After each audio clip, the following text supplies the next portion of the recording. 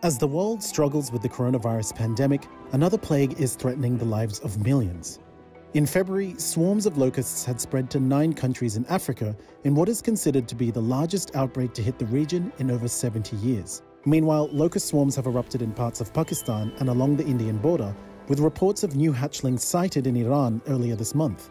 East Africa, which remains the worst hit region, is facing a second wave of locusts that the UN Food and Agriculture Organization, or the FAO, estimates could be up to 20 times larger than current numbers. But what caused this plague of biblical proportions?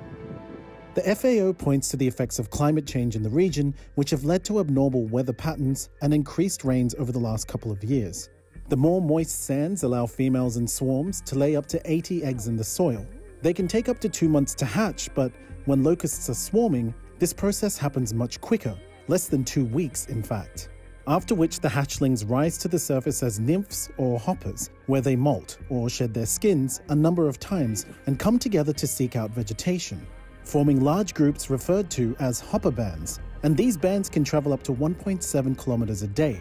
When the conditions are right, they can develop into pink immature adults in just three and a half weeks. And after a few test flights with their new wings, they take off, following the wind at distances of up to 150 kilometers per day.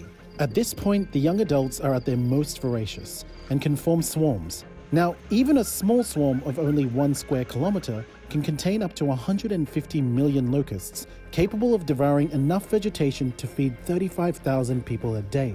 To put this in perspective, the FAO has recorded swarms sweeping through eastern Africa that are larger than the size of Manhattan, more than 60 square kilometers, containing billions upon billions of locusts. And as they mature in swarms, locusts alter their behavioral patterns and even their color, turning into the iconic yellow and black spotted insects in a process called gregarization. By now, they're sexually mature, and the females are ready to lay eggs again, after which the locusts continue to move until they die off, just in time for the new hatchlings to rise at numbers 20 times larger with each generation. In 2018, two cyclones dumped heavy rainfall on the southern Arabian Peninsula that created an ideal environment for the desert locust to breed. In an interview with Wired, Michel Lecoq, former director of the French Agricultural Research Center for International Development, explained how they were able to multiply so quickly. The main problem is that these exceptional rains occurred in an area where there's a lot of insecurity, wars, and so on, so the initial stages of the upsurge of the outbreaks were not detected in time. As a result, in nine months, three generations of locusts were able to spawn, causing numbers to increase 8,000 fold. The swarms were able to leapfrog over the Red Sea and into the Horn of Africa. Cyclone Pawan's landfall in December 2019 triggered heavy rainfall and flooding in Somalia that saw above average vegetation in the country, presenting ideal situations for the swarms to increase and spread. Experts estimate the locusts decimated almost 30% of the pasture they landed on in Kenya. And heavy rains in January and February allowed females to lay new eggs, which saw them spread to Tanzania, then north into Uganda and South Sudan, then back southwards into the DRC. Right now, the rains are beginning, the, uh, the short rains are beginning, and if the farmers will not be able to grow the, the crops early enough, there will be a challenge in terms of availability of various foods in the future, given that if the locust infestation continue without being controlled, it is going to impact a lot in the availability of food. And the rate at which the locusts are devastating crops is alarming. Wakapigwa simu wakaambiwa vitu vimekuja kukula kwa chapa, sasa zikashifa zika zikaenda kule kule nyumbani, ni kuzaa, hakuna kitu kingine zinafanya huko. Ndengu nilikuwa nimevuna ngunia moja tu mm. na mawele gunia moja hizo mm. tu ndizo niko nazo, hizo zingine zimekuliwa kabisa. The FAO has warned that in excess of 20 million people are at severe risk of starvation and famine in the region, and potentially a further 15 million more in war torn Yemen. And the widespread malnutrition caused by the plagues only spells further danger as the coronavirus continues its spread through Africa, particularly in regions of Somalia where political insecurity and terrorist activity restricts access of aid. Dominique Burgeon, director of FAO's Emergency and Resilience, described the severity of the situation in an interview with Africa Renewal magazine. Our focus is the concern that as the number of infections in vulnerable countries grows, among populations who are already malnourished, weak, and vulnerable to disease, a crisis within a crisis could emerge. And that, in a vicious feedback loop, will leave more people weaker and vulnerable to the virus. The FAO has overseen the training of more than 750 personnel to combat the locust swarms, and as of mid April, over 2,400 square kilometers of land have been treated with pesticides throughout the East African region. But more is needed while air support is hard to come by, and the coronavirus and fears of its spreading make these countermeasures all the more challenging.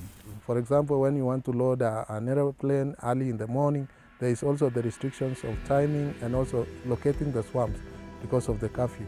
However, we are trying to come up with innovative ways like reducing the number of populations that are being met at once for the training, as well as also engaging the security officers so that they can allow a small extension of time for the locals, the scouts, as well as the operation team. And with respect to guidelines set by the FAO, many of the affected countries do not stockpile pesticides to prevent the collection of potentially dangerous and obsolete products, again, a problem compounded by COVID 19. The biggest challenge we are facing at the moment is the supply of pesticides, and we have delays because global air freight has been reduced significantly. Our absolute priority is to prevent a breakdown in pesticide stocks in each country.